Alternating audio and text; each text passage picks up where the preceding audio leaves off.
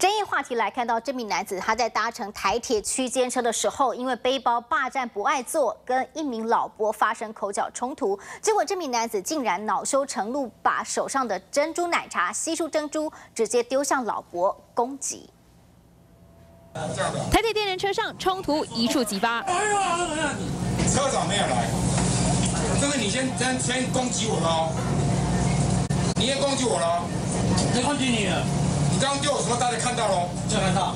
谁看到？大家都看到了。确确实实，这名男子把口中珍珠吐到手上，就往阿北方向丢，这下两人梁子越结越大。现在好心让我，你还那就那就做嘛，干你什么事？干什么事？干什么事？人做坏事？干什么事？这谁的位置？干什么事？这谁的位置？干什么事嘛？谁的公司？后很嚣张，原来男子右方是不爱坐，却站着不走，还回嘴六次，干你什么事？看你也没没几岁嘛，干嘛摆着一副像流氓一样？陈老板，陈老板？你现在这不是行径像吗？还敢丢我东西？其他乘客找来车长，这下珍珠哥眼见情况不对，瞬间成了小绵羊，还说阿贝好凶哦。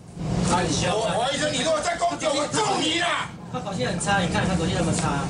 似乎自知理亏，最后干脆拿着行李换车厢。根据了解，这件事发生在台铁桃园往树林的区间车上。原来有乘客让位给阿贝，却被珍珠哥拿背包占位子。网友说用行李占位子真的很白目，但也有网友觉得阿贝自己口气也很差。不过有人留言要肉搜这位珍珠哥，截图放大要大家看清楚。但拿东西霸住不爱做就是不对，还按长辈对呛，只能说珍珠哥你红了。TVB 新闻综合报道。